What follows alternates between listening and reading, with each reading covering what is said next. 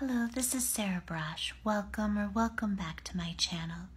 So I just wanted to do a quick impromptu video and I wanted to talk about the Chronicle of Higher Education.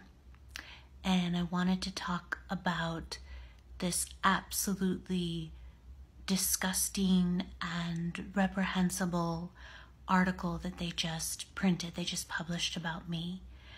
And I'm going to go through the article line by line in a different video and explicitly go through every single one of the outright lies in this article about me. But I was, I just want to talk a little bit about what happened. So after the uh, post Connecticut Freedom of Information Act Commission hearing brief came out on January 3rd, Friday, January 3rd. And so the brief came out, the post hearing brief, and I got permission from my attorneys to release it to whomever. And so I I decided to send it to a few journalists and I hesitated sending it to Katie Mangan, I believe she pronounces her last name, at the Chronicle of Higher Education because they had defamed me, seriously and egregiously defamed me after the Living or Napping While Black hate crime hoax at Yale. And so I hesitated to send it to her. But then I thought, you know, I'm going to send her the post hearing brief. I'm also going to send her my medium essay, which is the response to James Hatch's essay, My Semester with the Snowflakes, and my essay is called uh, My Six Years at Yale with the Woke Intersectional Feminists and How They Tried to Destroy Me. And I also sent them a recent blog post about my wrongful permanent uh, Twitter suspension. And then I also sent her a list of all of the articles and blog posts that have been written in support of me, including Cathy Young's two pieces and uh, a blog post by Scott Greenfield and a blog post by Brian Leiter, um, etc., and the post millennial piece about the living or napping while black incident being a hate crime hoax.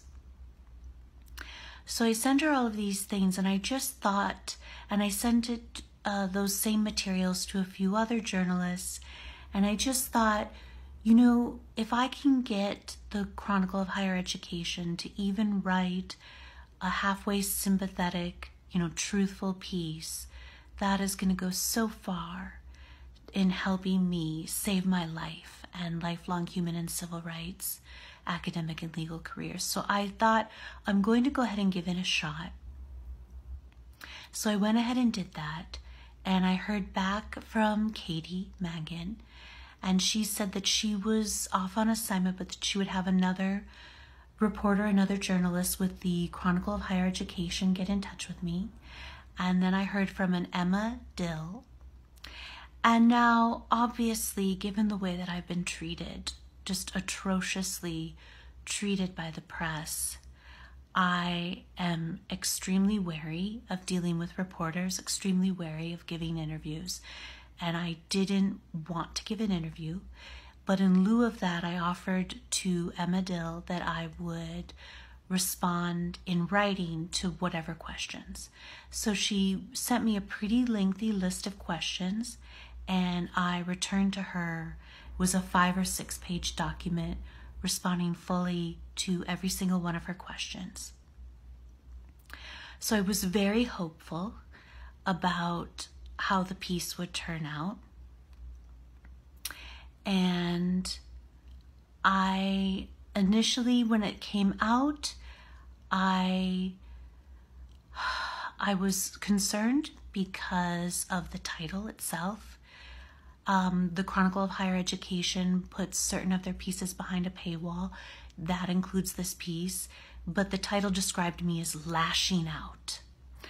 The title described me as lashing out at Yale officials and other Yale students.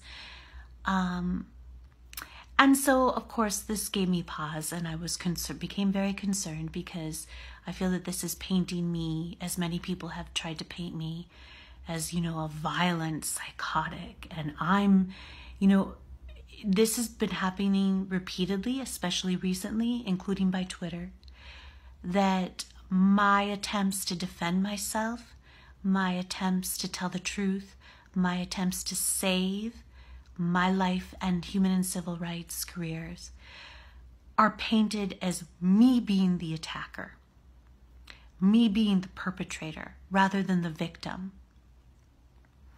of an absolutely vicious and global vilification, cyber mobbing, and decimation of my reputation and my livelihood and my life by the fake news press and the entire moral outrage industry.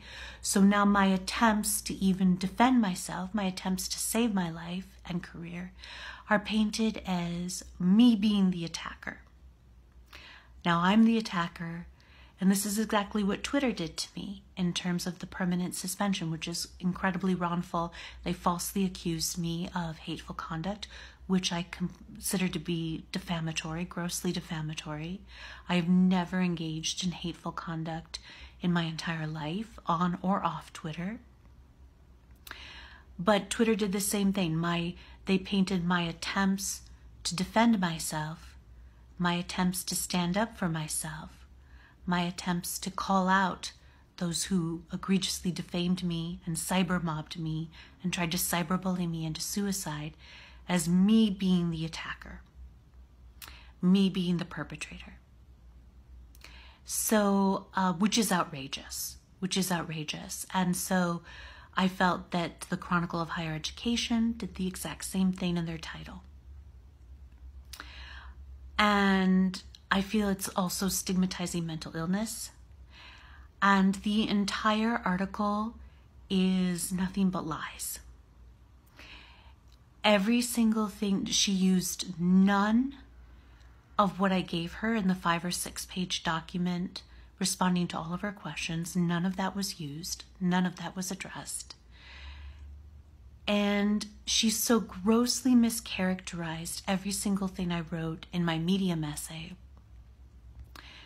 that it amounts to a bunch of outright lies.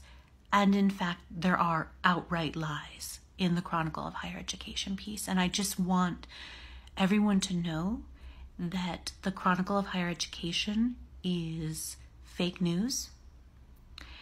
It is nothing more than a trashy online gossip rag that peddles and sensationalized defamation. And I explained, I explained to Emma Dill when I was corresponding with her that I did not feel comfortable giving an interview for this very reason because of the way that I had been atrociously treated by the fake news press, the way they had raked my life over the coals, the way that they tried to cyberbully me into suicide, which they almost succeeded. They didn't care. They didn't care that they destroyed the life and career and endangered the life of an innocent civil rights activist. They didn't care. And they obviously still don't care. they still don't care. Uh, I let them know that I found the article to be disgusting and nothing but lies. And I let them know that I expected it to be retracted immediately. And I told Emma Dill that she is a horrible, evil person and a liar. And I let um, both Emma Dill and Katie Mangan of the Chronicle of Higher Education know that basically I became suicidal, somewhat suicidal after the article came out because I was so distressed and distraught over what they had done. I trusted them and I feel betrayed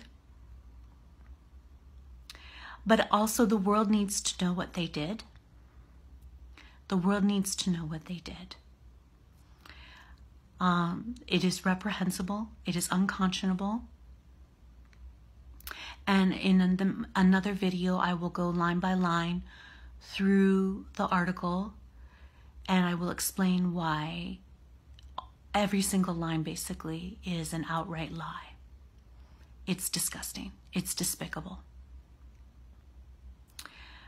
And that's basically all I want to say. I I can't it's shocking to me that at this point when the truth is finally coming out about the living or napping while black hate crime hoax at Yale and when the truth is coming out about how I had to go into hiding for approximately a year, how I was suicidal for approximately a year, when the truth is finally coming out about how wrongful the global defamation campaign against me was, how wrongful the global vilification of me was, when the truth is finally coming out, for the Chronicle of Higher Education, who claim to be journalists, who claim to be journalists with some semblance, I guess, they claim, of journalistic ethics and standards, and for them to have perpetrated this. It is fake news. It is fake news. It is peddling in sensationalized defamation. And it is disgusting and horrible that they would do this at this point when the truth is out. The truth is out that I am the entirely innocent victim of a hate crime hoax. Uh, and for them to do this at this point is it's it's almost beyond belief. You almost just can't even believe that they would have done this.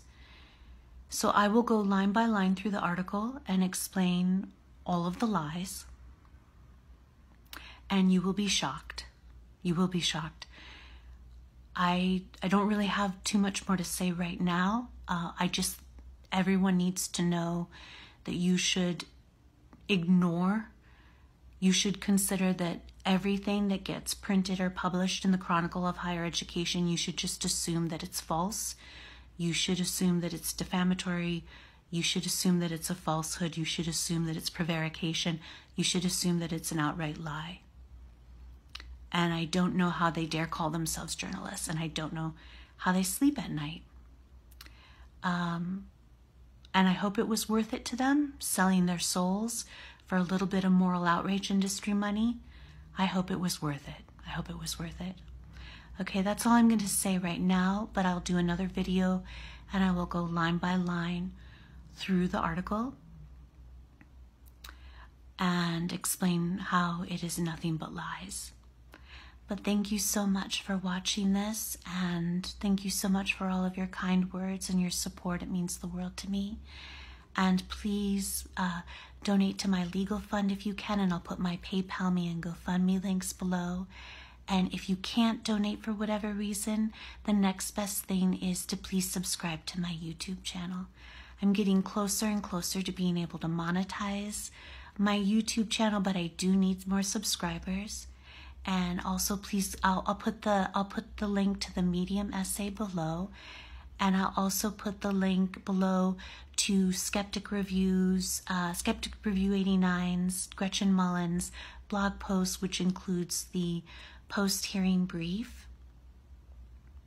And yes, and I'll, I'll put the link to the blog, my blog post where I talk about uh, Twitter's wrongful permanent suspension of me as well. I'll put all the links below. So thank you so much and take care. Have a great night.